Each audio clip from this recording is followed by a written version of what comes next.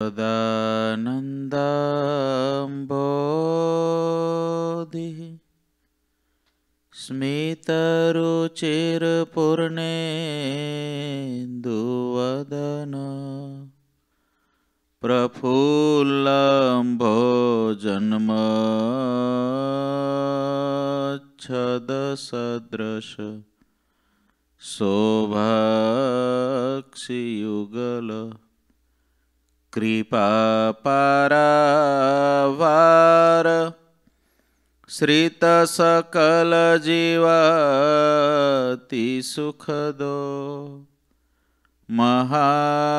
મહાશ્રેયો મૂર્તિ જયતિ સહિ નારાયણ મુનિ वर्णिवेशरमणीयदर्शनं मन्दहासरुचिराननाम्बुजम् पूजितं सुरनरोतमेर्मुदा धर्मनन्दनमहं विचिन्तये ॐ अवतारिणे श्रीस्वामिनारायणाय नमो नमः ઓમ શ્રી હરિકૃષ્ણાય નમો નમઃ. ઓમ શ્રી પૂર્ણ પુરુષોત્તમાય નમો નમઃ. બોલો શ્રી સ્વામિનારાયણ ભગવાનની જય. શ્રી હરિકૃષ્ણ મહારાજની જય. શ્રી ઘનશ્યામ મહારાજની જય. બધાય ભક્તોને એથી જય સ્વામિનારાયણ. સદગુરુ નિષ્કુળન સ્વામી ચોસઠ પદી ગ્રંથની અંદર, પદ એકત્રીસ એની અંદર છેલ્લે એમ કથા લખે છે, જેને પોતાની અંદર ગુણ માન્યો છે. સ્વામી કે જ્યારે ભગવાનના આશ્રય કરીને, સદગુરુના આશ્રય કરીને જીવ ધીરે ધીરે ધીરે આગળ વધતો હોય અને જીવ જ્યારે પોતામાં ગુણ માને છે, દિનતાનો ત્યાગ કરે છે, અંગની અંદર અહંકારને લે છે, હુંકારને આવવા દે છે, ત્યારે માયાને લાગ મળે છે અને માયા જેટલું એને ભગવાનને પામવા માટે જેટલા સાધનો કર્યા હતા, જેટલો રાજીપો મેળવ્યો હતો, જેટલું તપ કર્યું હતું, જેટલો વૈરાગ્ય રાખ્યો હતો, જેટલો ધર્મ રાખ્યો હતો, એ બધું જ ખોઈ બેસે છે. સ્વામી કે મૂરખ છે, એની મૂડી એને ખોઈ. આ જન્મે કરીને જેટલી મૂડી ગયા જન્મમાં હતી, એના કરતાં આ જન્મે મૂડી વધારે ભેગી કરવાની હતી. એના કરતાં પણ એને મૂડી ખોઈ નાખી. આવો મૂરખ છે. નિષ્કુળન સ્વામી કે આ વાત મેં હરિભક્તને એટલે કે મુમુક્ષુને ભાવતી વાત કરી છે. હવે સ્વામી કે છે, મેં જે આ વાત કરી છે, એને જે આત્મા પોતાના અંતરમાં ઉતારે, મારી આ વાતને વિચારશે, તો એના અંતરની અંદર કેવું થશે? એ કેવો થઈને વર્તશે કે જે મારી આ વાત જે મેં હમણાં કરી છે ગઈકાલે? સ્વામી કે એ વાતને જે અંતરમાં ઉતારશે, એનું જીવન કેવું થશે? એનું વર્તન કેવું હશે? એના વિચારો કેવા હશે? તો એ અહીં આગળ સ્વામી પદ બત્રીસમાં લખે છે. આવી અરથની જે વાત કોઈ નર ઉતારે અંગ મારે, ત્યારે સુખી થાય સાક્ષાત પછી સમજી રે સતસંગ મારે. આવી અરથની જે વાત કોઈ નર ઉતારે, અંગ મારે ત્યારે સુખી થાય સાક્ષાત પછી. સમજી રે સત્સંગ મારે. થઈ ગરીબને ગરજવાન શિષ્ય થઈ રહે સર્વનો રે. મેલી મમતાને માન ત્યાગ કરે તન ગર્વનો રે. કોડી ખોટ ન રાખે કાંઈ ભલી ભક્તિ બજાવવા રે એક રહે અંતરમાય તાન પ્રભુને રીજાવવા રે એવા ઉપર શ્રી ઘનશ્યામ સદા સર્વદા રાજી રહે છે રે. સરે નિષ્કુળાનંદ કામ એમ સર્વે સંત કે છે રે. સરે નિષ્કુળાનંદ કામ એમ સર્વે સંત કે છે રે? સ્વામી કહે છે, આવી અરથની જે વાત. અરથની એટલે કે અતિ ઉપયોગી. જે વાતમાં ક્યારેય પણ નુકસાન નથી. આવો સ્વામીનો સો ટકાનો દાવો છે, અનુભવ છે, અને સ્વામી સો ટકા ખાતરી સાથે પોતાનો માલ આપે છે કે મારી મેં જે આ વાત કરી છે, એ વાત પ્રમાણે જે મુક્ષુ વર્તશે એને ક્યારેય પણ ખોટ નહીં આવે. અતિ ઉપયોગી આ વાત મેં કરી છે. કોઈ પણ વ્યક્તિ આ વાતને પોતાના અંગની અંદર લાવશે. કોઈ નર ઉતારે અંગ મારે. આપણા બહુ પ્રકારના અંગો છે. સેવાનું અંગ છે. ભજનનું અંગ છે. તપનું અંગ છે. વૈરાગ્યનું અંગ છે. ધર્મનું અંગ છે. સારું સારું જમવાનું અંગ હોય. સુવાનું અંગ હોય, જાગવાનું અંગ હોય, ધ્યાનનું અંગ હોય, બધા અલગ અલગ પ્રકારના, હજારો પ્રકારના અંગ આપણી અંદર બધા મિક્સ પડ્યા હોય. કેટલાક અંગો એની અંદર આમ થોડાક ઉપસેલા હોય અને કેટલાક અંગો દબાયેલા હોય. કેટલાક અંગોને પરાને ઊભા કરાવતા હોય સદગુરુ એટલે ઊભું થતું હોય. આવું બધું હોય છે. હવે એની અંદર સ્વામી કે પોતાના દરેક અંગની અંદર મારી આ વાતને ઉતારવાની છે. ધર્મનું અંગ હોય તોય ભલે, ભક્તિનું હોય તોય ભલે, વૈરાગ્યનું હોય તોય ભલે, તપનું હોય તોય ભલે, સેવાનું હોય તોય ભલે, શ્રદ્ધાનું હોય તોય ભલે. કોઈ પણ અંગ હોય એ અંગની અંદર આ દવા સ્વામી કે મારી ઉમેરવી પડે. કઈ દવા? તો કે આ દવા જ્યારે ઉમેરે, ત્યારે કેવો થાય છે? ત્યારે સુખી થાય સાક્ષાત, પછી સમજી રે સતસંગ મારે. પછી એ સુખી થઈ જાય. ક્યારેય દુઃખી ના થાય. જીવ પ્રાણી માત્ર દુઃખી થાય છે પોતાના અહંકારથી. કોઈ વ્યક્તિ એને દુઃખી કરવા આવતું નથી અને એમાંય સત્સંગની અંદર તો કોઈ કોઈને દુઃખી કરતું જ નથી. જીવ પોતાની અણસમજને કરીને દુઃખી થાય છે અને જીવ પોતાની અંદર સમજણ જેટલી વધારે એટલો સુખી થાય છે. આ સત્સંગમાં નથી કોઈ આપણને ફાંસીએ ચડાવતું. આ સત્સંગમાં નથી કોઈ આપણને બંદૂક લઈને ઊભું રહેતું. આ સત્સંગમાં નથી કોઈ આપણને હેરાનગતિ કરતું. આ સત્સંગની અંદર વધુમાં વધુ થઈને શું થાય છે? તો આપણે કંઈક સારા દેખાવું હોય ને કોઈને સારા ના લાગીએ. આપણે કંઈક ઈચ્છતા હોય ને એના જગ્યાએ કંઈક સામેવાળો બીજું કરે. બસ આટલું જ હોય છે. આપણી મન ઘડન કલ્પનાઓ એનાથી જ આપણે દુઃખી થતા હોઈએ છીએ એટલે નિષ્કુળન સ્વામી કે આ સત્સંગની અંદર સુખી જે થયો છે, જે છે અને જે થશે, એ કેવા થશે, તો મારી આગલી વાત સ્વામી કે જે મેં પદ એકત્રીસમાં કરી છે, એ વાતને વિચારી, જે તનના અહંકારને છોડશે, દેહાભિમાનને છોડશે, એ સદાય સુખી રહેશે. તો હવે સુખી રહેવા માટેનો ઉપાય કેમ ખબર પડે કે આ સુખી છે? અને કેવો વ્યક્તિ સુખી થઈ શકે? હુંકારને કાઢવા માટે શું કરવું? તો કે થઈ ગરીબ ને ગરજવાન શિષ્ય થઈ રહે સર્વનો રે. ગરીબ થાય, જે જીવ પ્રાણી માત્રને ગમતું નથી. ગરીબ થઈએ ને, ગરીબની શું કિંમત હોય? કોઈ રાંકો હોય, ગુણાતીતાનંદ સ્વામી કે સત્સંગની ગરજ એવી રાખવી સરળતાના રાંકા જેવી. સુડતાળીસની સાલમાં જે દુષ્કાળ પડ્યો અને ત્યારે નીલકા નદીની અંદર ભીમનાથ મહાદેવ પાસે રાંકાઓ બધાય ભિક્ષા માગવા માટે ઊભા હોય, નીલકા નદીના વહેનમાં ઊભા હોય. સદાવ્રત ત્યાં આગળ ચાલે. સદાવ્રતમાં થૂલું જ હોય પાછી, ખીચડી નહીં, થૂલી. એક દિવસ જમાડશું આપણે થૂલી.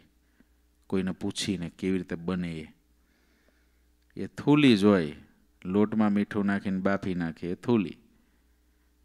અને થૂલી પેલા લોકોને ગરીબોને આપે. એમાં ગરીબો બહુ ભૂખ્યા હોય, એટલે લાઈનમાં આમ ઊભા હોય, નદીમાં આમ વહેણની અંદર આમ લાઈન પડી હોય, અને એ થૂલી આપે, એની અંદર ખૂટી જાય તો એ ઓલા આપો આપો કરતા હોય ને, તો ઓલાને જે ગુસ્સો આવે ને તે એક લાત મારે.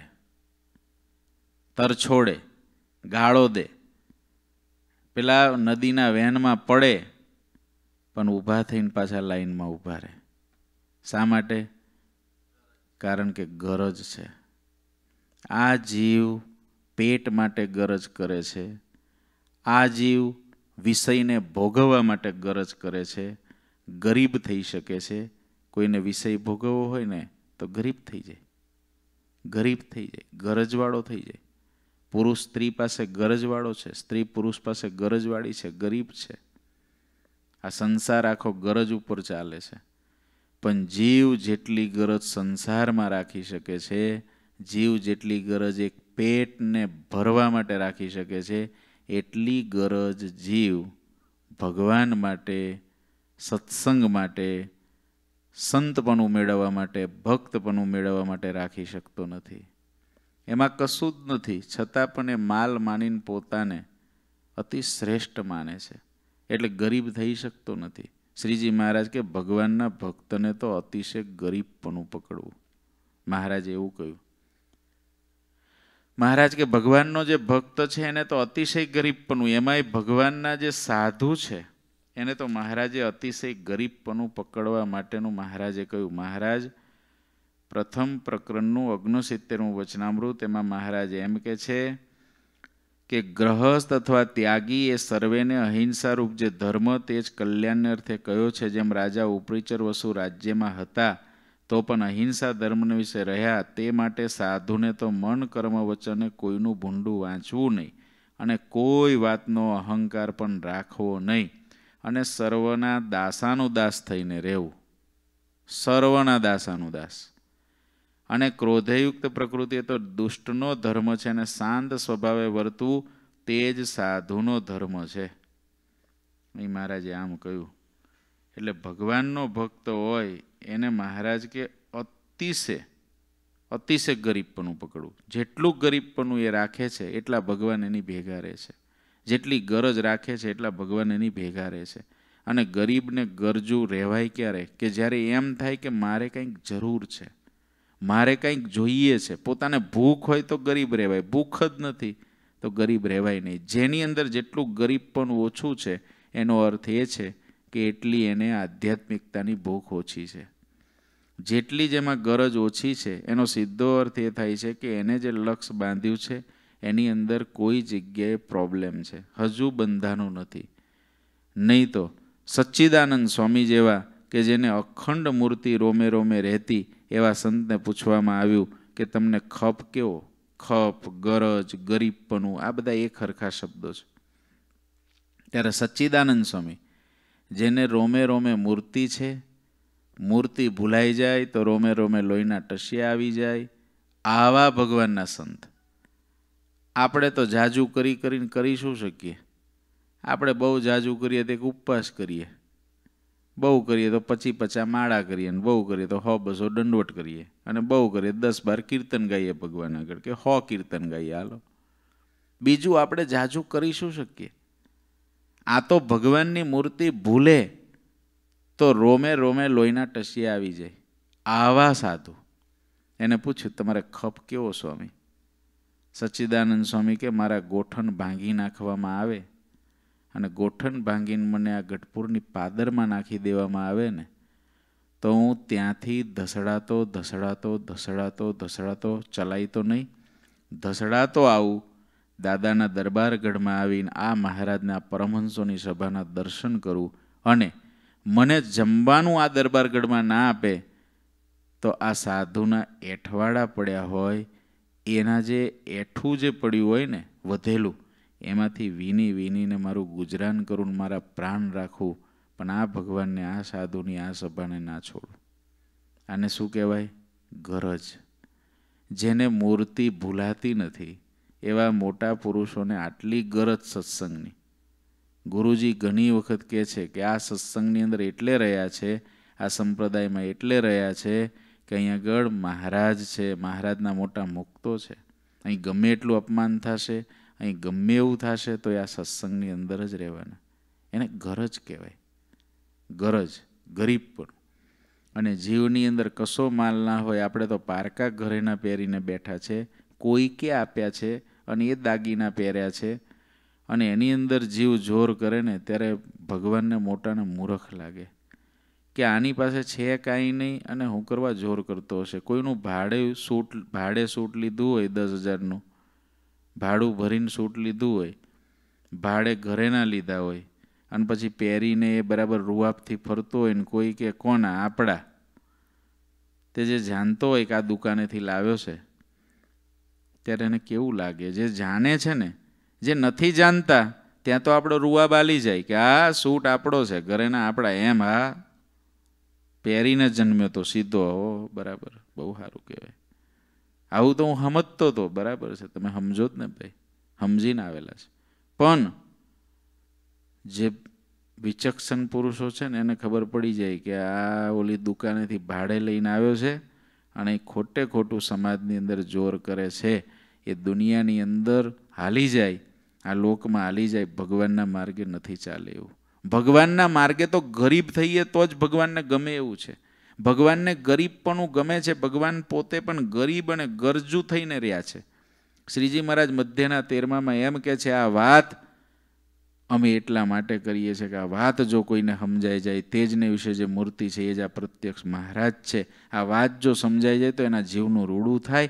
મહારાજ કે એને અર્થે વાત કરીએ છીએ. શ્રીજી મહારાજે કેટલી ગરજ કરી છે. મહારાજ કે, અમે જે આ વાત કરીએ, દંભે કરી નથી કરતા, અમારી મોટાઈ જણાવવા સારું નથી કરતા. અમે જે આ વાત કરીએ છીએ, માન વધારવા સારું નથી કરતા, આ વાત જો કોઈને સમજાઈ જાય તો એના જીવનું રૂડું થાય. તો ભગવાન ત્યાં ગરજુ થયા છે. અને ભગવાન આજે પણ ગરજુ થાય છે. આપણી અંદર આપણે એવા તો ક્યાં એટલા મોટા વૃત્તિવાળા ભગવાનમાં રાખવાવાળા છે કે ભગવાનને આપણી પાછળ ફરવું પડે. આપણે તો ભગવાનને ભૂલીને ચાલવાવાળા છે. પણ ભગવાન આપણી ગરજ રાખીને આપણને પકડી રાખે છે. આપણે ગરજ નથી રાખતા. ભગવાન ગરજ રાખે છે. આપણે ગરજ નથી રાખતા, ભગવાનના સદગુરુ ગરજ રાખે છે ને આપણને પકડી રાખે છે. સદગુરુ પકડી રાખે છે. ગરજુ એ છે, ગરીબ એ છે. અને આપણે જીવનની અંદર પોતે અનુભવીએ તો ભગવાનનો કદાચ આપણને અનુભવ મનુષ્ય આકારે ભગવાન નથી એટલે થાય કે ના થાય. કારણ કે ભગવાન તો દિવ્ય સ્વરૂપે આ બધું કરે છે. પણ ભગવાનના મોટા પુરુષોને તો ગરીબને ગરજવાન થતાં જોયા છે ને આપણે? એક વખત નહીં, હજારો વખત જોયા છે ને? તો હજારો વખત ગરીબને ગરજુ શા માટે થાય છે? એને શું આપણે હોઈએ તો એને શું મેડલ મળી જવાનો છે ને આપણે હોઈએ શું એની કલગી ખીલી જવાની છે ને આપણે હોઈએ શું એની શોભા વધી જવાની છે? આપણે તો બેકગ્રાઉન્ડમાં ઊભા રહીએ તો એમની લાજ જાય એમ હોય. બેકગ્રાઉન્ડમાં ઊભા રહીએ આગળ નહીં, બેકગ્રાઉન્ડમાં ઊભા રહે તોય લાજ જાય એવી હોય. એવા આપણે ઢેલ જેવા જીવ હોઈએ. મોર જેવા થોડા છે, ઢેલ જેવા છે. આ તો એક એક પીછું સદગુરુ મૂકતા જાય. એમ એમ એમ કળા આવતી જાય થોડી થોડી થોડી. પછી આમ લાગે કે મોર છે. પણ બહુ જોર કરે જ નિષ્કોળન સમયે કીધું હું ઊંધો ફરે. તો ફોટો પછી આવી જાય મૂળ ઓરિજિનલ. કે આ છે. એટલે ગરીબ રહેવું ભગવાનના ભક્ત માત્ર ગરીબ, આપણે બધા ભક્ત ગરીબ થઈએ. બધાય ગરીબ થાય ને તો બધાય સુખી. બધા ગરીબ થઈ જાય, બધાય સુખી.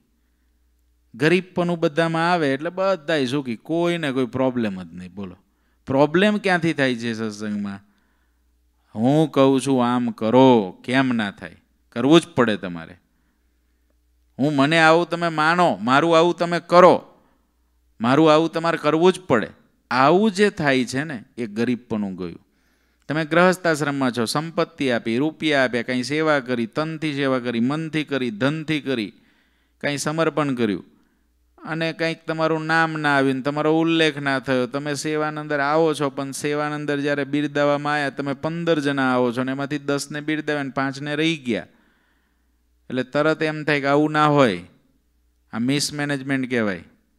તો, એ તરત એ બધાય જે સો ટકા એ મેનેજમેન્ટ નથી, મિસમેનેજમેન્ટ જ છે. વ્યવહારિક દ્રષ્ટિએ ચોક્કસ મિસમેનેજમેન્ટ છે. પણ આધ્યાત્મિક દ્રષ્ટિએ જે પાંચ રહી ગયા, એની પાસે ગરીબપણું અને ગરજુપણું જોઈએ, જે આપણા પરિવારની અંદર આજે બહુ દેખાય છે. આટલી કડક વાત કરીએ છીએ ચોસઠ પદીની, છતાં પણ સાચી વાત જે છે તો કરવી જ પડે કે આપણા પરિવારની અંદર એ સહજ દેખાય છે. ઘણી વખત અમે કેટલાયના નામ ભૂલી ગયા હોઈએ. પછી જ્યારે આવે ત્યારે અમે કહીએ કે ભગત તમારા નામ આજે રહી ગયું, આશીર્વાદ અપાવવાના હતા તમને ગુરુજીના હાથે, સંતોના હાથે. તરત જ એ અમને સંતોને એમ કે ઝાઝા ભાગના ભક્તો, સ્વામી બસ રાજી રહેજો. બાકી એ તો તમારો રાજીપો છે સંતોનો એટલે બધું આવી ગયું. નાઇન્ટી એટ પર્સન્ટ અત્યારે આ પ્રકારની સમજણ સત્સંગી ભક્તોની અંદર થઈ રહી છે. એ જોઈને ગુરુજીને સંતો રાજી છે. કારણ કે એ સૌથી મોટું હેડેક છે. સૌથી મોટું હેડેક હાચવ્યા કરવો હાચવ્યા કરવો હાચવ્યા કરવો, કેટલા દિવસ હાચવો એક દિવસ. સત્સંગની અંદર નવો હોય તો હાચવવો પડે. નવો હોય તો વરસ બે વરસ હાચવે. બરાબર છે. પણ પછી રોજ પેલો એટલો બધો કાચના વાસણ જેવો થાય કે ને રોજ એમ જોજો જોજો જોજો કરીને જ ઉઠાવવાનો હોય. કાચના ઠામડાને કેમ ઉઠાવવાનું હોય? જોજો હમણાં ના અડતા. હમણાં નહીં. પડશે તો તૂટી જશે. એવો કાચના ઠામડા જેવો રોજ ગરીબને ગરજુ છે ને, એ લોઢા જેવો હોય. ગમે એના નાખો ને, ગમે એમ નાખો ને, ગમે એમ ગબડાઈ દો ને, તો એને કશું થાય જ નહીં, કારણ કે એ સત્સંગમાં ચડતો રહે. એને તો ગરીબ જ રહેવું છે. પણ આપણે પોતામાં કાંઈ માલ માનતા થઈએ છીએ ને, પછી આપણી આધ્યાત્મિકતા જાય છે, પછી આપણી ભક્તિ જાય છે, આપણો વૈરાગ્ય જાય છે, આપણો ધર્મ જાય છે, આપણું ભક્તપણું ને સંતપણું જાય છે, જેની આપણને ખબર પણ રહેતી નથી. અને કેટલો ટ્રેક ચૂકી જઈએ ને, કેટલા વર્ષો જતા રહે ને, પછી પાછી વળી ક્યારેક અંતરદ્રષ્ટિ થાય કોલા તો ખોટા રસ્તે ગાડી દોડી ગઈ છે. પાછું વળવાનો ત્યારે ટાઈમ ના હોય. એટલા અહંકારથી આપણે ભરાઈ ગયા હોઈએ ને કે પછી ગરીબ થવા માટેનો આપણી પાસે ચાન્સ ના હોય. પણ આવા મોટા મોટા સત્પુરુષોનું જીવન જોઈ, મોટા મોટા હરિભક્તો, પર્વતભાઈ કેટલાક ગરીબ થઈને રહેતા, અખંડ મૂર્તિને ધારવાવાળા. કોઈ દિવસ સભામાં પહેલું સ્થાન નથી ઈચ્છ્યા, છેલ્લે બેસતા. પર્વતભાઈ, કાંઈ કોઈને ખબર ના પડે અને આજે પણ એવા ગરીબને ગરજવાન સંતો ભક્તો હશે ને કે જેની સ્થિતિ ખરેખર હશે કોઈને ઓળખાતા પણ નહીં હોય. કારણ કે આ દુનિયાનો એક ક્રમ છે ફૂફાડાવાળાને બધા ઓળખે. ગરીબને, ગરજવાનને કોઈ ના ઓળખે. અને જીવ પ્રાણી માત્રને ઓળખાવાની એક લત લાગેલી છે કે હું ઓળખાઈ જાઉં. હું ઓળખાઈ જાઉં. તે ફૂફાળો હોય ત્યાં ઓળખાઈ જાય. પણ ગરીબ અને ગરજુ થઈને રહેવાવાળો છે તો ગરીબ જ હોય. રાખ થઈને રહેતો હોય. ખબર પણ ના પડે. આ છે કે નહીં ખબર પણ ના પડે. એવા ગરીબ હોય. ભગવાનના મોટા પુરુષોને છોડીને ભગવાનના મોટા પુરુષો છે અને હજારોના કલ્યાણ કરવાના હોય. પણ હોય ગરીબને ગરજુ. એક એક જીવ પાછળ મહેનત કરતા હોય, એક એક જીવને હાચવતા હોય. ઓલો જીવ મોઢું ફેરવે ને તો એ સામેથી એને મોઢું આપતા હોય. કે ભાઈ કેમ મોઢું ફેરવ્યું છે? કંઈ પ્રોબ્લેમ છે? ભગવાન ભજો સુખેથી. એમ કરે. ગરીબ થાય, ગરજુ થાય. આ ભગવાનના મોટા પુરુષો કરી શકે છે. માટે ભગવાનનો ભક્ત અહીં નિષ્કુળાન સ્વામી કહે છે થઈ ગરીબને ગરજવાન શિષ્ય થઈ રહે સર્વનો રે. મેલી મમતાને માન ત્યાગ કરે તન ગર્વનો રે. એને ગર્વ તો ચડ્યો છે, પણ એને એવો ગર્વ નથી કે મને આવા મહારાજ મળ્યા, મને આવા મોટા પુરુષ મળ્યા, મને આવા સંતોન ભક્તો મળ્યા, પણ ગર્વ શાનો છે? પોતાના તન અહંકારનો. પોતાના તન અહંકારનો એને ગર્વ છે. એના કારણે એના કલ્યાણના માર્ગમાં વિઘ્ન આવે છે. જોઈતા ખાચરને ભવાયા જોવા નહોતું જવું અને જોઈતા ખાચરને ભવાયા જોવા માટે નહોતું જવું, પણ ગામના લોકો એને ઉપાડીને લઈ ગયા. ભવાયા ત્યાં થયા, ભગતે માળા ફેરવી. પછી હવારમાં ખાટલો લઈને ભગત ઘેર આવતા હતા. ત્યાં હરિભક્તોએ જોયું કે આ જોઈતા ખાચર ભવાયા આજે રમાયા હતા ત્યાંથી આવે છે. મંદિરમાં જઈને હરિદ હરિદ સેવાદાસજી સ્વામી હતા, એને જઈને કીધું હરિભક્તોએ કે સ્વામી, આજ તો જોઈતા ખાચર ભવાએ જોવા ગયા હતા. ગામનો આગેવાન હતો, વસ્તા ખાચરનો દીકરો હતો. પેલા સ્વામી તો પગથિયે ઊભા રહ્યા, જોઈતા ખાચર હવારમાં નાહી ધોઈને પૂજાપાઠ કરીને મંદિર આવ્યા. સ્વામી કે, જોઈતા પગથિયું ના ચડતો કે, હેઠો ઉતરી જા. હેઠો ઉતરી જા. એને ખરેખર ભવાએ જોયા જ નહોતા. એ તો ભજન કરતો હતો. એટલી સ્થિતિવાળો ભગત કે ને ભવાએ શું કર્યું એ એને ખબર નહોતી. હવારમાં ક્યારે માણસ વિખાઈ ગયું એ એને ખબર નહોતી. આવો સ્થિતિવાળો ભગત એને ઓલા સાધુ વગર વાંકે તબડાવે. હેઠા ઉતરી જાઓ કંઈથી જોઈતા તું ઉપર આવતો જ નહીં, મારી કંઠી પાછી લાવ કે, હરિભગત થઈને તું ભવાયા જોવા ગયો? ત્યારે જોઈતા ખાચરે કીધું, સ્વામી, તમારો કૂતરો છું, ખાસડું મોઢામાં લીધું. આ ગરીબ ને ગરજવાન. બાકી હું કે, જોયા વિના હું તૂટી પડ્યા છો. પહેલાં તપાસ તો કરવી જોઈએ ને અમે શું કર્યું તું એ? અને તમારું મંદિર છે? આગેવાન હું છું, મંદિરની અંદર મેં બધું દીધું છે. ગરીબપણું ગયું. આવું કદાચ સામું ના બોલ્યા અને વિચારોના ચગડોળે ચડીએ ને તો પણ ગરીબપણું જાય. ગરીબપણું જવાના બહુ રસ્તાઓ છે. ખાલી બોલવાથી જ ગરીબપણું જાય છે એવું નથી. આપણા વિચારોથી પણ ગરીબપણું જાય છે. ગરીબપણું ફક્ત વર્તનમાં રાખવાની જરૂર નથી. ગરીબપણું વિચારમાં રાખવાની જરૂર છે. જેના વિચારમાં ગરીબપણું હોય એનું વર્તન હંમેશા ગરીબ હશે. મોટા પુરુષો કોઈને વઢવું ઘટે તો વઢે છે. કોઈને ખીજાવવું પડે તો ખીજાય છે. કોઈને કઠણ શબ્દ કહેવા પડે તો એનું હૃદય વિંધાઈ જાય એવા કઠણ શબ્દ પણ મોટા પુરુષો મારે છે. છતાં પણ એમાં ગરીબપણું કેમ રહે છે? એ કદાચ વઢતા હોય, એ કદાચ ઊંચા અવાજે કંઈ કહેતા હોય, એ કદાચ આપણને તોછડી ભાષામાં કંઈ કહી દેતા હોય. છતાં પણ એની અંદર ગરીબપણું આપણને કેમ દેખાય છે? કારણ એ છે, એના વિચારમાં ગરીબપણું છે. એના વિચારમાં ગરીબપણું છે. એ પોતાની ફરજ સમજીને કાર્ય કરે છે. એ પોતે આપણું હિત કરવા માટે કાર્ય કરે છે. એ આપણી સેવા સમજીને એવું કાર્ય કરે છે. આપણી ઉપર અધિકાર, એની સેવાનો અધિકાર રાખે છે. એટલે એવું કરે છે. એટલે એમાં ગરીબપણું દેખાય છે. એના વિચારમાં ગરીબપણું છે. અને જીવ છે ને એ વર્તનમાં ગરીબપણું રાખે, પણ વિચારમાં ગરીબપણું એની પાસે હોતું નથી. જીવને પ્રોબ્લેમ આ છે. નમી નમી હાલતો હોય. નમી નમી હાલતો હોય, પણ નંબા, નંબાની અંદર એને સદાય એમ હોય કે હું કેવો નમું છું? છે કોઈ બીજો? હું કેટલો ગરીબ રહું? છે બીજો કોઈ? એટલે ગરીબપણું ગયું. ગરીબપણું ગયું. જ્યારે મહારાજ કે સદાય વિચાર કર્યા કરવો, હું તો સર્વથી ન્યૂન છું, મારાથી બધાય અધિક છે. હું તો સર્વથી ન્યૂન છું, મારાથી બધાય અધિક છે. આ વિચાર કરવામાં અંતરમાં કેટલું સુખ આવે એ પોતે દરેક વ્યક્તિ કરે તેને ખબર પડશે. દરેક વ્યક્તિ કરે. એમાં એ ભગવાનના જે સાચા રસ્તે ચાલેલા આપણે બધાય મુમુક્ષુ છે ને, એને તો રોજ વિચાર કરો, બધાય મારાથી મહાન છે અને હું તો સર્વથી ન્યૂન છું. હૃદયથી વિચાર કરવો હૃદયથી. ખરેખર એકદમ હૃદયના ભાવથી ઊંડાણમાંથી વિચાર કરવો અને એની અંદર પણ કોઈ ભગવાનના ભક્ત પ્રત્યે અણસમજણ આપણને હોય ને એના પ્રત્યે તો વધારે વિચાર કરવો. કોઈ ભગવાનના ભક્ત પ્રત્યે અણસમજણ આવી જતી હોય ને જેના પ્રત્યે, એના પ્રત્યે તો વધારે વિચાર કરો કે એમની અંદર આટલા બધા ગુણ છે એવો તો મારામાં કાંઈ નથી. એમાં જે સમર્પણ છે એવું તો મારામાં કાંઈ નથી. એ આટલા વર્ષોથી સત્સંગ કરે છે તો એ આવા થઈને રહે છે એવું તો મારામાં કાંઈ નથી. આવી રીતે, અને એવું હોય જ છે કે જે આપણા કરતાં બીજા સંતો ભક્તોમાં હજારો ગણું વધારે હોય છે. ભગવાનનું આપેલું. હજારો ગણું વધારો હોય છે. જ્યારે ગોતવા બેહો ને, ત્યારે મળી જ જાય. આ તો શ્રીજી મહારાજનો બગીચો છે. આની અંદર આપણા કરતાં બહુ શ્રેષ્ઠ પાત્રો મહારાજે બનાવ્યા છે આ સત્સંગની અંદર. આપણા કરતાં બહુ શ્રેષ્ઠ પાત્રોને એવી પાત્રતા પ્રમાણેના ગુણ આપ્યા છે, જે આપણી અંદર આપણે હો જન્મોથી ઘસીને મરી જઈએ ને તોય આવે એવા નથી. સો જન્મ સુધી ઘસી નાખી નાખી જાતને તોય આવે એવા નથી. એવા ગુણો દેખાય છે આ સત્સંગની અંદર. એવા સંતો, ભક્તો આપણી વચ્ચે જ છે, દૂર ક્યાંય નથી. કે પચાસ ફૂટ ને સો ફૂટ ને પાંચ હજાર માઇલ ને દસ હજાર માઇલ ને ચંદ્રના લોકમાં નથી. ચંદ્રના લોકમાં નથી. આપણાથી નજીકના હાથોમાં જ આમ ગોતવાનું મળી જશે. ઢગલા બંધ મળી જશે. અને કોઈને ના મળે તો પૂછજો તો બતાવશું જો આટલું છે, આપણી અંદર ગોતો તો નહીં મળે.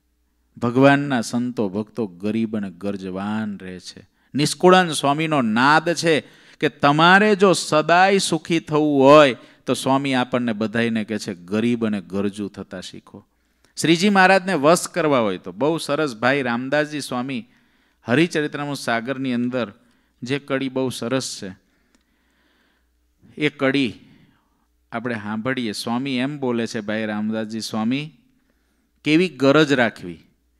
ગરજો વિના ન હરિહિત લાવે ગરજુ પાસ સેજે ચલી આવે ગરજો કે શ્રી હરિ હોત હે બેલી ગરજો કે શ્રી હરિ હોત હે બેલી ગરજુ કુક બુદ્ધિએ ન મેલી ગરજુ કો કબુદીએ ન મેલી. ભાઈ રામદાસજી સ્વામી કહે છે, ગરજ રહિત ઉપર ભગવાન પ્રેમ લાવતા નથી.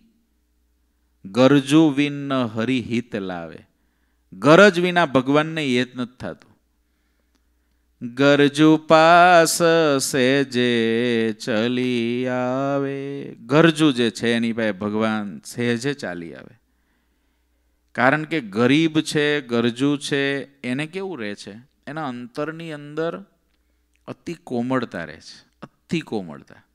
જે ગરજુને ગરીબ છે ને એનું અંતર, એનું હૃદય બહુ કોમળ હોય. એનું હૃદય લોઢાછાપ ના હોય. લોઢાછાપ ના હોય. અતિ કોમળ હોય. અને અતિ કોમળ હૃદય ગરીબપણું ને ગરજ જેટલી રહે, એમાં જ રહે. એમાં જ રહે. અતિ કોમળ હોય. ગરજુ પાસ સેજે ચલી આવે. ગરજુ કે શ્રી હરિ હોત હે બેલી. ભગવાન ગરજુ ભક્તના બેલી છે. બેલી છે એટલે કે તારવાવાળા છે. ગરજુ કુક બુદ્ધિએ ન મેલી. ગરજુને ક્યારેય ભગવાન મૂકી દેતા નથી. ભગવાનની પણ ગમે એટલી ભગવાન પાસે સમર્થતા ને તાકાત છે ભગવાને નક્કી કર્યું હોય કે મારે આને નથી કોઈ કાળે ધામમાં લઈ જવો, મારે આને નથી અનાદિ મુક્ત કરવો, આવો ભગવાનનો સંકલ્પ હોય, પણ ગરજુ થઈને પડ્યો રહ્યો હોય આ સત્સંગમાં, તો ભગવાનની પણ તાકાત નથી કે એને મૂકી શકે. આ ઓપન ચેલેન્જ મોટા સંતોની છે. ગરજુ અને ગરીબ જે થયો, મોટા સદગુરુની તાકાત નથી કે એને ક્યારેય પણ છોડી શકે. ગમે એટલો ગંદો હોય ગમે એટલો અંતઃશત્રુથી પીડાતો હોય, ગમે એટલા સ્વભાવવાળો હોય, ગમે એટલો ઇન્દ્રિયો અંતકરણમાં લપટાયેલો હોય, પણ મોટા સદગુરુને ગરજુ અને ગરીબ એને ધામ સુધી આને આ જન્મે પહોંચાડવો પડે છે. ગરીબને ગરજુપણાની અંદર આટલી તાકાત છે. પણ એ ગરીબ અને ગરજુપણું શિષ્ય થઈ રહે સર્વનો રે. ભગવાનને મોટા પુરુષ પાસે ગરીબને ગરજુપણું દેખાડ્યું. પણ એને બીજા સંતો ભક્તો હારે ગરીબને ગરજુપણું નથી રહેતો. તો એ મોટા પુરુષ હારે ખાલી ઔપચારિક ઉપરથી રહે છે. દેખાડવા પૂરતું રહે છે. કારણ કે એના જીવમાં તો છે નહીં. જેના જીવમાં ગરીબપણું ને ગરજુપણું હોય, એ તો બધી જગ્યાએ ગરીબને ગરજુ જ રહી શકે. હા, વિવેક એને ચોક્કસ હોય. મારે કેટલો સંગ કરવો, કેટલું ગ્રહણ કરવું, કેટલું ના કરવું, આ બધા વિવેકો તો શ્રીજી મહારાજ કે પહેલાં જોઈએ જ. પરંતુ ગરીબપણું એને મૂકવાનું શ્રીજી મહારાજે ગરીબપણું એક જ જગ્યાએ મૂકવાની છૂટ આપીશ. મહારાજ કે પાજી પડાવની છાયામાં ડબાવું નહીં. ભગવાનને ભગવાનના સંતનું કોઈ ઘસાતું બોલે ને, તો એના વેન ઉપર વેન લાવવું સુરવીર થવું ત્યાં. ત્યાં ગરીબપણું નહીં. હા તમે કહો છો બરાબર છે બરાબર છે. ના, એ વાત બરાબર. એમ નહીં. ત્યાં તો એનું મોઢું તોડી નાખે ને એવો જવાબ દેવો એને. ભગવાનને ભગવાનના સંતનો પક્ષ રાખવા માટે. ભગવાનને ભગવાનના મોટા પુરુષનું કોઈ ઘસાતું બોલે ને, તો એને એક વખત એવો જોરદાર જવાબ દઈ દેવો. પરશુરામની પેલી પરશુરામનું ફરશું હોય ને, એવો એકવાર જવાબ દઈ દેવો ફરી આપણી સામે ક્યારેય ભગવાનને મોટા સાધુનું કોઈ ભક્તનું ઘસાતું બોલવા આવે જ નહીં. પાજી પડાવની છાયામાં દબાવવું નહીં. ત્યાં સુરવીર થવું. પણ ભગવાનના રૂડા સંતો ભક્તો આગળ તો ગરીબને ગરજુ થવામાં જ માલ છે. ગરીબને ગરજુપણું મુમુક્ષુ રોજ વિચારે, મારું ગરીબપણું આજે દિવસમાં કેટલી જગ્યાએ ગયું? વર્તન દ્વારા કેટલી જગ્યાએ ગયું? વિચાર દ્વારા કેટલી જગ્યાએ ગયું? વર્તન અને વિચાર દ્વારા મારું ગરીબપણું આટલી જગ્યાએ લૂંટાનું? એને મુમુક્ષુ છે પોતે જીવમાં વિચારે તો એને દેખાય આવે કે મારું ગરીબપણું ને ગરજુપણું આટલી જગ્યાએ ગયું અને કઈ જગ્યાએ સત્સંગમાં જ ગોતવાનું છે. સત્સંગમાં જ ગોતવાનું છે. અને જો બધાય સત્સંગની અંદર આમ હાથ જોડતા એકાબીજાને રહે, હા, કંઈ વાંધો નહીં, કંઈ વાંધો નહીં, કંઈ વાંધો નહીં. ગરીબપણું. બધા એમાં ગરીબને ગરજુપણું હોય ને, તો સુખના ધોધ વહે. સુખના ધોધ, સહજાનંદના ધોધ વહે ત્યાં. જે જગ્યાએ જ્યાં જ્યાં ભગવાનના સંતો ભક્તો ગરીબને ગરજુ થઈને રહેતા હશે ને ત્યાં બધે સુખના ધોધ વહેતા હશે. સહજાનંદની મૂર્તિના ધોધ વહેતા હશે. આપણી, આપણા હૃદયની અંદર જેટલું મહારાજની સુખની ઉણપ છે ને, એની પાછળનું કારણ છે આપણું ગરીબપણું ને ગરજુપણાની ઉણપ. બીજું કોઈ ઉણપ નહીં. થઈએ ગરીબ, આ સેકન્ડે ગરીબ, આ સેકન્ડે સહજાનંદ. આ સેકન્ડે ગરજુ, આ સેકન્ડે સહજાનંદ. આને આટલો નજીકનો સંબંધ છે. અને આપણા અનુભવમાં પણ આવેલું હશે. કે આપણને જ્યારે ભગવાનના સંતો ભક્તો સાથે અહંકાર ટકરાતો હશે, અહમ આવતું હશે અને કાંઈક એમ કાંઈક એનો અભાવ આવતો હશે, થોડા કંઈક આપણે શ્રેષ્ઠ આપણે પોતાને માનતા હોઈશું, ત્યારે અંતરમાં છે ને સુખ જ નહીં હોય. કાંઈ સુખ નહીં. પેલું માન પેલું હાડકું લઈને ફરતા હોય ને, અને પેલું કેમ લોહી નીકળે પોતાના મોઢાનું ચાટીને સુખી થાય. એમ થોડી વાર સુખ આવે, પણ પછી ઉદ્વેગ ઉદ્વેગ થાય. કારણ કે આપણે માનતા હોઈએ કે હું તો આવો છું, પણ કોઈ આપણને સ્વીકારે નહીં તું આવો છો. એટલે એવું દુઃખ થાય કે ના પૂછો વાત. એના કરતાં ગરીબને ગરજુ થઈને રહ્યા હોય કાંઈ નથી ભાઈ. કોઈ કે તમારામાં કાંઈ માલ નથી, પણ આપણને પહેલેથી જ ખબર હોય કાંઈ માલ નથી, એમાં હું ખોટું કીધું. કોઈ કે તમારામાં અક્કલ જ ક્યાં છે? બુદ્ધિ જ ક્યાં છે તારી અંદર? આવું વર્તાય, આવું કરાય? હા, આમે મને ક્યાં ખબર પડે છે? જે પોતાની જાતને રોજ એવું સમજાવે છે કે હું કાંઈ નથી મને કશી ખબર નથી, એને કદાચ કોઈ સંતો ભક્તોએ કાંઈ કહી દીધું તો એને કંઈ થાય? કંઈ ના થાય. પણ એટલી કઠણ વાત છે ને સુકમુનિ બ્રહ્માનંદ સ્વામીને અને સુરા ખાચરને મહારાજે પૂછ્યું છે અંતેના અઠ્યાવીસમાં. તમે સત્સંગમાં પાછા પડી જાઓ, એવું ક્યુ અંગ છે તમારું? બોલો. કઈ વાતે કરીને તમે પાછા પડી જાઓ? ત્યારે બ્રહ્માનંદ સ્વામી કે મહારાજ, કોઈ બરોબરી અપમાન કરે ને, ત્યારે મહારાજ થોડુંક અંતરમાં દુઃખ જેવું થઈ આવે. આ મોટા પુરુષો આપણા માટે કહે છે, આપણા માટે. કદાચ મોટા પુરુષો આપણને કંઈ કહે તો કદાચ આપણે ગરીબને ગરજુ રહી જ ગયા. પણ કદાચ કોઈ સત્સંગમાં કાંઈ નથી સમજતો ને આપણને કહી ગયો. તો ગરીબને ગરજુ રહેવામાં કાંઈ ખોટ નહીં જાય. આપણે ગરીબ રહ્યા. હા હા, મારી ભૂલ છે. ચાલો હું સુધારી દઈશ. ભૂલ છે. સુધારી દઈશ. તો શું વાંધો? ગુરુજીને કેટલાક અણસમજુ લોકો સંસ્થામાં આવીને સંસ્થામાં આવીને ગુરુકુલના દાદર ઉપર ઊભા ઊભા ગુરુજીને ગાળો દે. આવા દ્રશ્યો અમે જોયા છે. બાજુમાં હરિભક્તો હોય એ ઉશ્કેરાટમાં આવી જાય તો ગુરુજી હરિભગત જે હોય ને એને કે બેસી જાઓ, ચિંતા ના કરો. પેલા એને શું કે ખબર છે? તમારે જે ભગત કહેવું એ કહો, વાંધો નહીં. પોણો કલાક કલાક ઓલો ગમે એમ ગાળા ગાળી કરે ને ગમે એમ બોલે. હરિભક્તો આપણા હોય એના લોહી ઉકળી જાય. ગુરુજીનું રૂવાડું ના ફરકે. અને ગુરુજી પછી શું કહે? ખબર છે? ગુરુજી એને એવું કહે, હવે ભગત તમે નાસ્તા પાણી કરી લો, હું ગૌશાળાએ જઈને આવું છું, પછી પાછા આપણે મળીએ. ઓલાને ઓફિસમાંથી બોલાવે, કામ કરવાવાળાને એને કે જવાને નાસ્તા પાણી કરાવી દો ભગતને, પછી આપણે ભગત મળીએ. ઓલો ગુરુજીને સાધુ શબ્દ ના વાપરે. ગુરુજી એને ભગત સિવાય બીજો શબ્દ ના વાપરે. આવા એક નહીં, એક હજાર પ્રસંગો હશે. હજાર પ્રસંગો હશે. આ ભગવાનના મોટા પુરુષો ગરીબ રહ્યા. નહીં તો તમને સંસ્થામાં આવીને એની અનહમજનથી ગાળ દેતો હોય, પણ પોલીસને બોલાવીને એક વખત જો એને હળિયા ગનાવી દો ફરી આવે કોઈ દી? ફરી કોઈ દી ના આવે. પણ મોટા પુરુષોની રીત આખી નોખી હોય. હા, યુગ પ્રમાણે બધો ફેરફાર આજે તમારે રોજ ઉઠીને કરવોય પડે. પણ મોટાની રીત આખી નોખી હોય. ગરીબ અને ગરજુ થઈને સત્સંગ અંદર રહેવું બાકી તો કોઈ તમને આવી આવીને કે તો શું દશા થાય આપણી? આપણે હું ના હું કરી દઈએ. તો જો એને બહારના કોઈ કુસંગીન અનહમજુ લોકો આવીને આવું કહે, તો એમને સંતો સત્સંગની અંદર કોઈ સંતો ભક્તોની અનહમજનથી કાંઈ કોઈ કહે?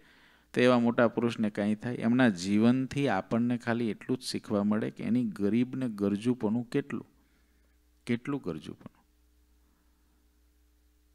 કેટલી વાત એવી હોય, ગુરુજી તો બાળપણથી સર્વોપરિતા, પહેલાં ધોરણમાં ભણતા તેદી સર્વોપરિતાની વાતો કરતા, એમ સુરતની અંદર એમને ભણાવતા શિક્ષક આજે છે. એ શિક્ષક કે એ નાના હતા ત્યારે સ્વામિનારાયણની સર્વોપરિતાની વાતો ત્યારે કરતા ને હું જ્યારે ક્લાસમાં એ વાત કરું ત્યારે એ એકદમ આમ એકાગ્ર ચિત્તે સાંભળે. એટલું એમને મહારાજની સર્વોપરિતાનું તાન બાળપણથી. હવે એ ગુરુજીએ આટલી બધી સર્વોપરિતાની વાતો કરીને કેટલા સંતો ભક્તોને સર્વોપરિતા ભાઈ ગુરુજી એકવાર કથા કરતા હતા. એ કોઈ મહાત્મા આવેલા, સંત આવેલા ને બેઠા. અને પછી કંઈક વાતો ચાલતી હતી. એટલે ગુરુજી કે, લો, તમે વાત કરો. એ સ્વામીએ એવું કીધું કે, ગુરુજીનું નામ દઈને કે, સ્વામી, આ તો સર્વોપરિતાની વાત છે એને તો સમજવી પડે કે. સમજવી પડે. ગુરુજીને એમ કીધું. ગુરુજી સંતોન કથા કરતા હતા. ગુરુજી, ત્યાં અમે સંતો બેઠા છે ને અમારી સામે જ. એટલે સ્વામીને કે, હા, સ્વામી, તમારે જેવા મોટા પુરુષ બીજે ક્યાં ગોતવા જવા કે? લો, સમજાવો. આને શું કહેવાય? ગરીબપણું. ઓળખવા મુશ્કેલ પડે. ઓળખવા મુશ્કેલ પડે. જ્યારે મોટા પુરુષો ગરીબપણું જ્યારે એટલું બધું પકડે ને, તો આપણે ઓળખવાય મુશ્કેલ પડે કે આ ખરેખર કોણ છે ને કેવા છે. ઓળખવા મુશ્કેલ પડે. બહુ ઘાટી છે. સાધુ ઓળખવાય ઘાટી છે. એ મોટા પુરુષનું ગરીબપણું પકડવું ને એ બહુ મોટી ઘાટી છે. બહુ મોટી ઘાટી છે. હજારો જગ્યાએ જો મોટા પુરુષના જીવનમાં સવારથી સાંજ સુધી ડોકિયા કરવામાં આવે ને તો હજારો જગ્યાએ ગરીબને ગરજુ થઈને રહેતા હોય છે. અને આપણે કાંઈ માલ ના મળે ને અહંકારી થઈને ફરતા હોઈએ અને આપણે પોતાની જાતને શ્રેષ્ઠ માનીને ફરતા હોઈએ, ત્યારે નિષ્કુળાન સ્વામી કે બે હાથ જોડીને વિનંતી કરીને કહું છું, ગરીબ થઈને કહું છું, તમે ગરીબ થાવ નિષ્કુળાન સ્વામી આપણને ગરીબ થઈને કહે છે, તમે ગરીબ થાવ તમે ખોટી હવા ભરી ના હાલશો. સ્વામી કે કાઢો. જે હવા ભરી દીધી જ ભૂલથી એને કાઢો. પોતાના આંતરિક વિચારો અંતરદ્રષ્ટિ દ્વારા હવા કાઢી નાખો. આપણી અંદરથી હવાને કાઢવી છે સ્વામીને. તો પછી સ્વામી કે, મજા આવશે જો તમે. મેલી મમતાને માન ત્યાગ કરે તન ગર્વનો રે. મેલી મમતાને માન. માન અને મમતાને મૂકો. મમત્વ અને અહમ. અહમ અને મમત્વ બે જ માયાનું, માયાની બેડીઓ છે. મમતા એટલે મમત્વ અને માન એટલે અહમ. અહમ અને મમત્વ. બે જ માયાની બેડીઓ છે. સ્વામી કે એને મૂકી દો. ખોડી ખોટ ન રાખે, કાંઈ ભલે ભક્તિ બજાવવા રે. ભગવાનની ભક્તિ જો કરવી છે, તો આવી ખોટોને ખોડી ખોડીને કાઢે. ભગવાનનો ભગત તો સુરવીર હોય, ભગવાનનો સંત સુરવીર હોય. ધારે એવું ખોડી ખોડીને કાઢે. ને આ બધું કોને ખોડવું પડે? જે આમાં કેવું છે, દરેકનું, દરેકનો અહંકાર અલગ અલગ જગ્યાએ હોય. જ્યાં બેઠો હોય ત્યાં. અરે એક ખાલી ઢોર ઢસડવાળા, મરેલા ઢોરને ઢસડવાના હતા ગામમાં. તે ગામના બે વિભાગ કરેલા. કે આ બાજુના ભાગમાં ઢોર મરી જાય, તો આ હરિજન એને ખેંચી જાય. આ બાજુના ભાગમાં ઢોર મરી જાય, તો આને ખેંચી જવાનું. ખેંચીને લઈ જઈને દાટવાનું. અને વર્ષે ગામ લોકો એને અનાજ આપે, રૂપિયા આપે, આવું આપે.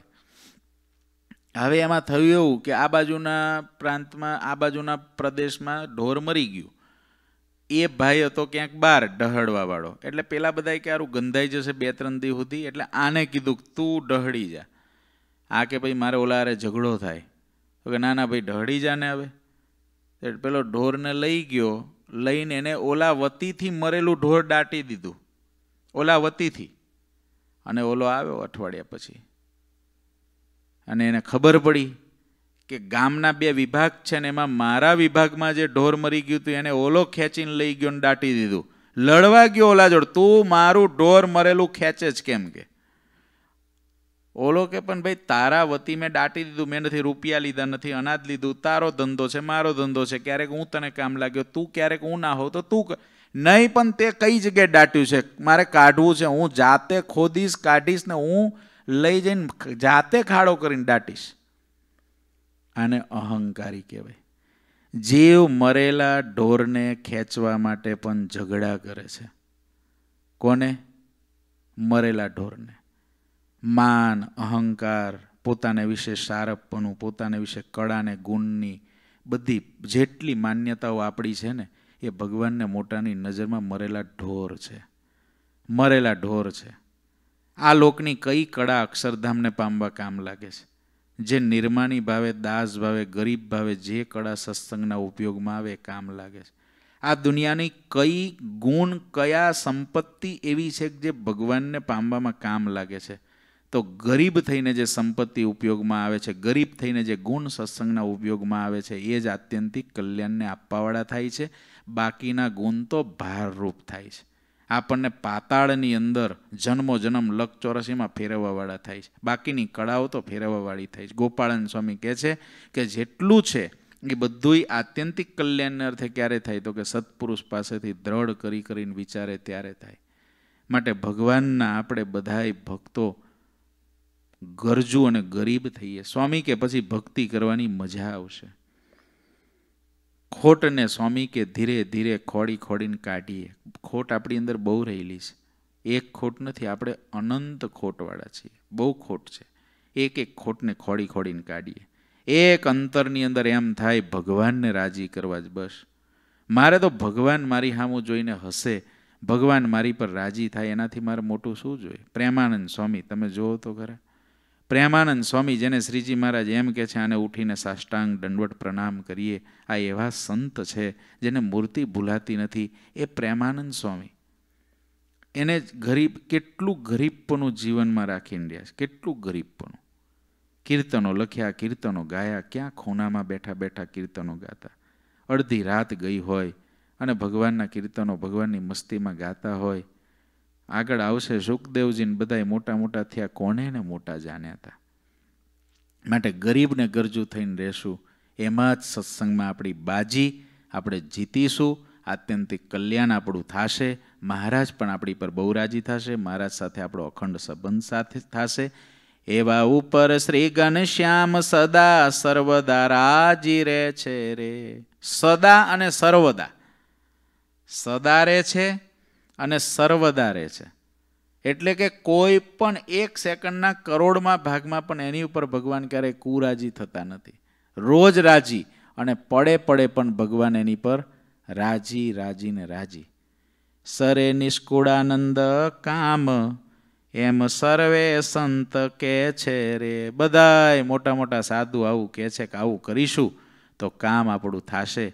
માટે આપણને બધાય જ્યાં જ્યાં આપણી અંદર કસર હોય એ કસર ટાળીને મહારાજ અને મોટા આપણું ગરીબપણું છે, એને રોજ વધારે એવું આપણે મહારાજને મોટા પુરુષોના ચરણોમાં, ગુરુજીના ચરણોમાં, નિષ્કુળન ચરણોમાં પ્રાર્થના કરીએ કે અમને જેટલા બને એટલા ગરીબ અને ગરજુ બનાવવા માટેના વિચારો આપતા રહેજો, અમારી ખોટ અમને ઓળખાવતા રહેજો, અમારી કસરો ટાળતા રહેજો, અમને સ્મૂથ બનાવજો, તમને ગમે એવા બનાવજો એવી પ્રાર્થના કરીએ. અહીં આગળ ચાર રાગના પદ પૂરા થાય છે. આવતીકાલથી પાંચમો રાગ શરૂ થશે. એને આપણે સાંભળશું. ઘનશ્યામ મહારાજની જે શ્રી પતિમ શ્રીધરમ સર્વદેવેશ્વરમ ભક્તિ ધર્માત્મજમ વાસુદેવમ હરે. માધવમ કેશવમ કામદમ કારણમ સ્વામિનારાયણમ નીલકંઠમ ભજે ઘનશ્યામ મહારાજની.